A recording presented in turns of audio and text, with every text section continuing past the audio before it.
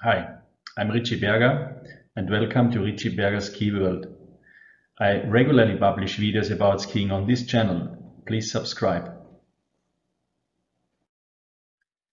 This time I would like to talk about the fourth key point of ideal short turns, the neutralizing and releasing.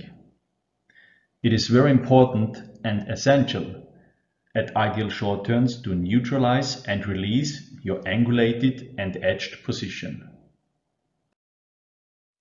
The neutralizing you can do with the forward inward movement. With this move, you bring your body in a 90 degrees position to the slope. In this phase your body is not twisted or angulated and your skis are flat. Start this move with your lower legs. Your hip will follow and you will flatten your skis. The edging and turn pressure will be released and the skis are able to speed up and to float.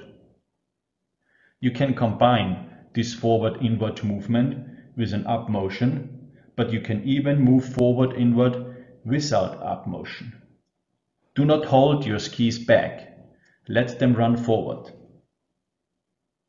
Please watch my video. Focus at the forward inward movement into the fall line for neutralizing and releasing.